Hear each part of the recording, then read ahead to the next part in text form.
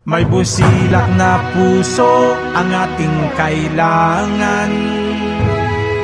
May talino tipagtanggol ang ating inang bayan. Sara Duterte tayo ang pangalawang pangulo.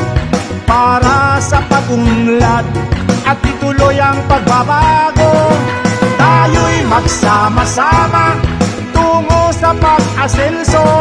Kung tayo'y makakaisa at ituloy ang pagbabago. Sara Duterte tayo ang sigaw ng sambayanan. Pangalawang Pangulo siyang dapat ihalal. Sara Duterte tayo